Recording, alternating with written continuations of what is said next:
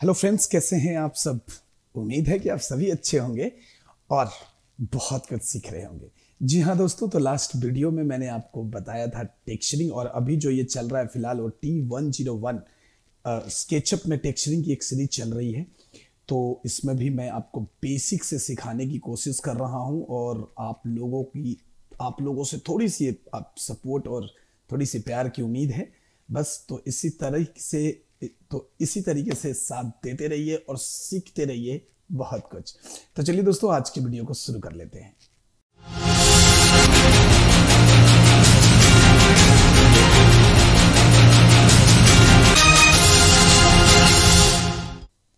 तो फ्रेंड्स, आज के इस वीडियो में हम लोग, जैसा कि लास्ट क्लास में हमने आपको टेक्सचरिंग दिखाया था वीडियो के साथ। तो चलिए आज कुछ और इस पे करते हैं। और तो चलिए, सबसे पहले मैं यहाँ पे एक छोटा सा एक ऐसे बॉक्स बना लेता हूँ। ठीक है? और इसको मैं थोड़ा ऐसे कर लेता हूँ। ये देखिए। अभी यहाँ पे जो बात आती है कि इसके अंदर मुझे टेक्सचरिंग करनी है तो मैं क्या करता हूँ? ले लेता हूँ टाइल्स और टाइल्स लेने के बाद मैं इसको ऐसे डाल देता हूँ। ठीक है? आप इसको भी ऐसे लेके डाल सकते हैं या फिर जो भी आपको जो भी चीज़ यहाँ से अच्छा लगे, जैसे सपोज़ ये भी आप डाल सकते हैं। ठीक है, मैंने यहाँ पे डाल दिया। अब यहाँ पे आज हम बात करने वाले हैं, जैसा कि ये तो मैंने आपको दिखा दिया था कि कैसे करना है। तो अभी वीरे में कुछ और फ़ंक्शन है, उससे भी हम लोग करके देख लेते हैं। तो जब आप यहाँ पे आएँगे ना तो आपको यहाँ से इसको तो ओपन करना ही है। ये इधर से ओपन करेंगे तो आपको मटेरियल का जो भी कैटेगरीज होता है वो मिल जाएगा। लेकिन फ़िलहाल मुझे इसकी ज़रूरत नहीं है। अभी हम आते हैं इधर में। और इधर में आने के बाद अगर आप यहाँ पे देखेंगे तो आपको यहाँ पे बहुत सारी चीज़ें मिल जाएँगी। जैसे डिफ्यूज है और डिफ्यूज में कुछ कलर है ऐसा, और अगर आप इसके अंदर जाएँगे तो यहाँ पे आप मैपिंग कर सकते हैं। ये भी मैं आपको दिखाऊँगा बट आगे कैसे इसको करना है वो मैं बताऊँगा। अभी देखिए, उसके बाद आपको मिलता है रिफ्लेक्शन ठीक है? आप जो भी यहाँ पे चेंजेस करेंगे ना, उसका जो रिफ्लेक्शन होगा, यानी कि रिफ्लेक्शन मतलब उसका जो रिज़ल्ट है, आपको यहाँ पे दिख जाएगा कि आपने यहाँ पे क्या चेंज किया हुआ है। लेकिन अभी देखिए, यहाँ पे आपको ये दिख नहीं रहा है, ये कुछ और है। तो आपको क्या करना है कि इससे ये जो आप देख रहे हैं ना यहाँ पे ये आई ड्रॉपर इससे इसको पिक कर लीजिए। जैसे ही पिक करेंगे तो ये वाला चीज़ यहाँ पे डिस्प्ले करेगा, क्योंकि आपने ये मटेरियल को वीरे के थ्रू लिया नहीं है, इसको बाहर से लिया है अभी ये वीरे के थ्रू हो गया है। अभी देखिए कलर वगैरह सब चेंज हो गया और इसकी डिस्प्ले यहाँ पे कर रही है। अब अगर मैं यहाँ पे जाऊँ तो यहाँ पे मुझे दिख जाएगा कि ये बिटमैप मेरा लिया हुआ है, जो कि बाय डिफ़ॉल्ट कंप्यूटर का ही है, यानी कि सॉफ्टवेयर से ही है। ठीक है?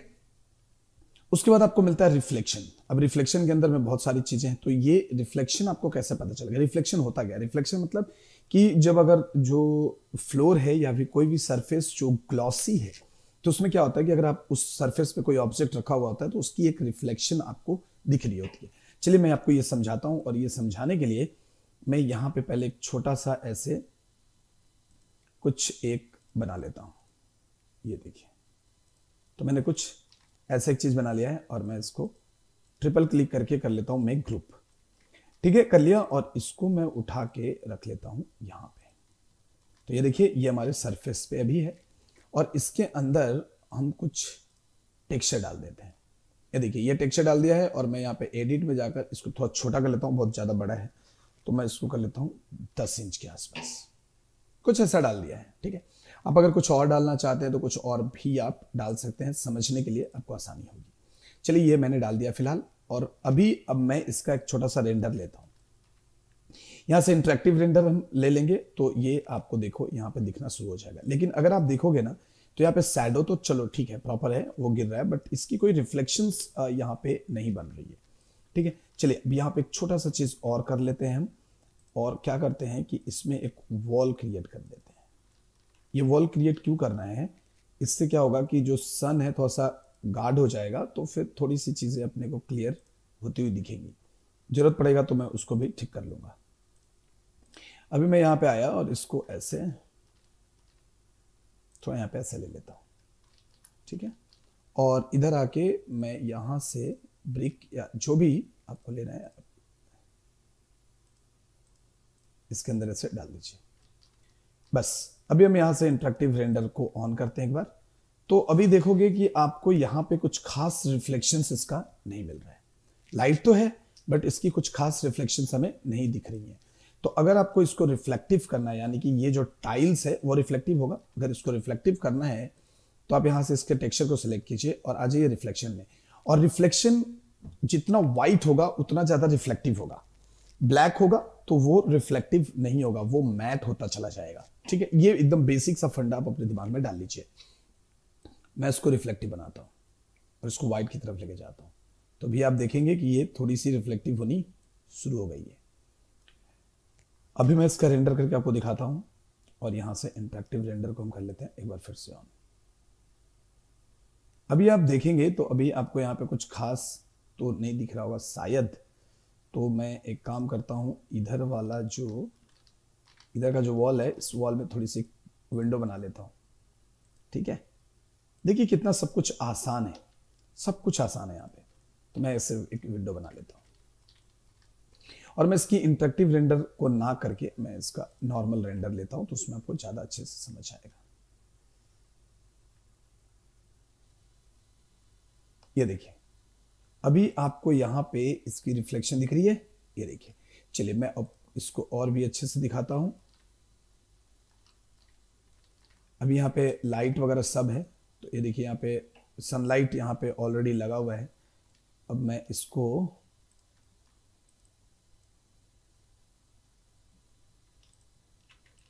इसको ऐसा पकड़ लेता हूँ और थोड़ा सा इसको कर लेता हूँ रोटेट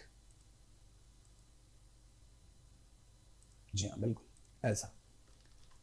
क्योंकि हमें इसको समझना है अच्छे से कि ये क्या चीज़ है कैसे काम कर रहा है। तो चलिए मैं यहाँ पे एक रेंडर ले लेता हूँ। अभी आप देखेंगे तो यहाँ पे आपको रिफ्लेक्शन कुछ खास तो नहीं मिल रहा है। ठीक है रिफ्लेक्शन अभी कुछ खास नहीं मिल रहा है। जी हाँ तो अभी मैं क्या करूँगा कि मैं इसको सिलेक्ट करूँगा, इसमें आ जाऊँगा। और ये देख रहे हैं कि ये जो रिफ्लेक्शन है वो खास यहाँ पे कुछ नहीं आ रहा है। तो चलिए कुछ नहीं, मैं यहाँ से ये आई को भी थोड़ा सा ऑन कर लेता हूँ। ठीक है एंड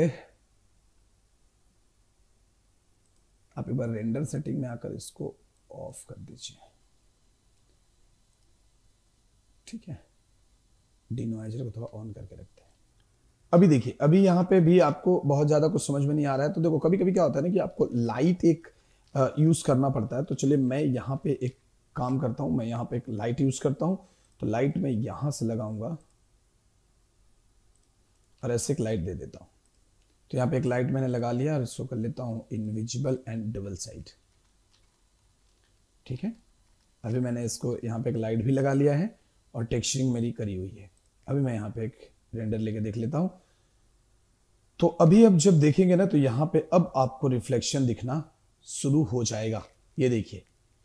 अब इस लाइट को थोड़ा सा और हम बढ़ा लेते हैं लाइक 200 के आसपास कर देते हैं और एक बार फिर से इसको स्टॉप करके एक बार रेंडर मारते हैं। अभी देखिए, आपको इसकी रिफ्लेक्शन यहाँ पे दिखना शुरू हो गया है। अगर आपको यहाँ पे लगता है कि ये रिफ्लेक्शन उतनी अच्छे से समझ नहीं आ रही है, जितने अच्छे से समझ में आनी चाहिए तो चलिए मैं इसकी थोड़ी सी टेक्सचर चेंज कर देता हूँ। ठीक है? टेक्सचर चेंज कर दिया और मैं नॉर्मल रेंडर इंटरेक्टिव रेंडर ही ले लेता हूँ तो आपको इसकी रिफ्लेक्शन अभी समझ में आनी शुरू हो जाएगी। ये देखिए और अभी मैं इसको और भी थोड़ा सा रिफ्लेक्टिव करना है मुझे तो मैं जाऊँगा रिफ्लेक्शन में और यहाँ से करूँगा इसको रिफ्लेक्शन को फुल और ये देखिए, आपका जो रिफ्लेक्शन है, इसका आप देख सकते हो यहाँ पे, मैं थोड़े देर के लिए सन को करता हूँ बंद, ताकि आपको ये रिफ्लेक्शन समझ में आए। अब भी आप देख रहे हैं, समझ में आ रही है आपको? तो दोस्तों लाइटिंग और टेक्सचरिंग्स वगैरह जो है ना, वो थोड़ा चीज़ है ट्रायल एंड एरर का, यानी कि आपको उसमें ट्राई बहुत करना होगा, उसमें आपको चीज़ें ठीक करनी होगी। देखिए, अभी आपको ये रिफ्लेक्शन बहुत अच्छे से समझ में आ रहा होगा। तो ये टेक्सचर टू टेक्सचर भी वेरी करेगा कि आप कौन सा टेक्सचर ले रहे हैं, कैसे काम कर रहे हैं। अभी देखिए रिफ्लेक्शन की जो ग्लॉसीनेस है, आपकी वन है। आप इसको बढ़ाकर देखेंगे तो ये बढ़ेगा नहीं, ये वन ही रहता है बेसिकली तो अभी यहाँ से हाईलाइट ग्लॉसीनेस वगैरह को ऑन करके भी देख लीजिए। तो देखिए, आपको यहाँ पे अभी बहुत क्लियर आपको यहाँ पे रिफ्लेक्शन आपको दिख रहा होगा। तो इस तरीके से अगर कुछ रिफ्लेक्टिव सरफेस बनानी है तो आप चीज़ें रिफ्लेक्टिव भी बना सकते हो। और यहाँ से आप इसके रिफ्लेक्शन की जो ग्लॉसीनेस है, उसको आप कम ज़्यादा कर सकते हो कि कितना ज़्यादा आपको उसकी ग्लॉसीनेस रखनी है और नहीं रखनी है। ये देखिए, अगर आपने इसको फ्रेशनल को अगर ऑफ़ कर दिया तो ये पूरी तरीके से ये जो है, वो ग्लास बन जाएगा। सी आप देख सकते हैं? यहाँ पे देखिए, पूरी तरीके से ग्लास बन चुका है। अभी आप ग्लॉसीनेस थोड़ी सी कम करके देख लीजिए। तो ये देखिए, बहुत, अभी अभी देखो आपने इसको कर लिया, ये मेटल की तरह आपको यहाँ पे ट्रीट करने, अब समझ रहे हैं छोटी छोटी सी चीज़ें हैं जिसको हम चेंज कर रहे हैं और पूरी चीज़ें बदल जा रही हैं। तो ये बहुत ध्यान रखना है। अभी मैंने वापस से इसको ऑन कर दिया है, ठीक है, और ग्लॉसीनेस को मैं फुल कर ले रहा हूँ अभी। ये देखिए तो मेरे भाई, वो जो चीज़ था, वो पूरा का पूरा अभी चेंज हो गया है। आई वगैरह, ये देख सकते हैं। ये देख रहे हैं, पूरा का पूरा एकदम मेटेलिक ऑब्जेक्ट में कन्वर्ट ये हो चुका है। ठीक है, अभी चीज़ें सब कुछ वही है, जो था वही है तो मैं आई को बंद कर देता हूँ। ये आई आपको बंद करना पड़ेगा। फ्रेशनल को खाली बंद कर देंगे तो भी ये चीज़ आपका पूरा चेंज हो जाएगा। तो मैं आई को बंद कर लेता हूँ, क्योंकि उसकी मुझे ज़रूरत नहीं है। यहाँ से आप इसकी जो सेडर्स हैं, आप वो भी चेंज कर सकते हो, जैसे ब्लीन मैंने कर लिया। ये देखिए, अब यहाँ पे काफ़ी खूबसूरत तरीके से आपको यहाँ पे, यह थोड़ा सा लाइट की कमी है लाइट जब और आएगा तो इसमें जो रिफ्लेक्शन है वो आपको और भी समझ में आ जाएगा। यानी कि अगर मैं लाइट का जो इंटेंसिटी है वो थोड़ी सी बढ़ा लूँ तो ये सारी चीज़ें आपको और भी क्लियर समझ में आएँगी। ठीक है? तो ये देखिए, मैंने यहाँ से इस तरीके से मैंने इसको रिफ्लेक्शन यहाँ पे आप क्रिएट कर सकते हो। जो भी रिफ्लेक्शन करनी है, आप यहाँ पे कर सकते हो। और यहाँ पे आप देख भी सकते हो कि आप कितना रिफ्लेक्टिव सरफेस आप बना रहे हो। चलिए मैं लाइट को यहाँ से सनलाइट को ऑफ़ कर देता हूँ। और डोंट वरी मैं लाइटिंग भी आपको बहुत डिटेल में पढ़ाऊँगा तो आप बिल्कुल भी वरीड मत होइएगा। ये देखिए, और सेम तरीके से आपको यहाँ पे जैसे रिफ्लेक्शन मिला है, यहाँ पे रिफ्रैक्शन भी है। आप रिफ्रैक्शन को भी थोड़ा सा ऑन कर लीजिए, थोड़ा बढ़ा लीजिए ऐसे। ज़्यादा नहीं बढ़ाइएगा। ज़्यादा बढ़ाएँगे तो कांच के जैसा दिखने लगेगा तो ज़्यादा नहीं करना। और देखिए, यहाँ पे आपको ये जो है, वो बहुत सही तरीके से, अगर मैं इसकी थोड़ी सी ऐसे रेंडर कर दूँ और मैं अभी इंट्रैक्टिविटी को ऑफ़ कर देता हूँ और मैं आपको इसकी रियल रेंडर करके दिखाता हूँ तो आप देख सकते हो यहाँ पे ये रेंडर हो रहा है। और ये देख सकते हो कि ये कितनी अच्छी रिफ्लेक्शन आ रही है। और रिफ्लेक्शन दोस्तों और भी अच्छी होगी जब लाइट और भी अच्छे से आप यूज़ करेंगे। ठीक है? तो फ्रेंड्स उम्मीद है कि आपको रिफ्लेक्शन समझ में आ गया होगा कि कैसे आप किसी भी ऑब्जेक्ट में रिफ्लेक्शन क्रिएट करेंगे।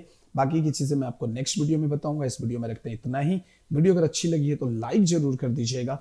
दोस्तों के साथ शेयर कीजिए और चैनल पर नए हैं तो चैनल को सब्सक्राइब कीजिए बेल आइकन को प्रेस कर दीजिए। तो मिलते हैं आपसे नेक्स्ट वीडियो में। तब तक के लिए bye take care and most important keep learning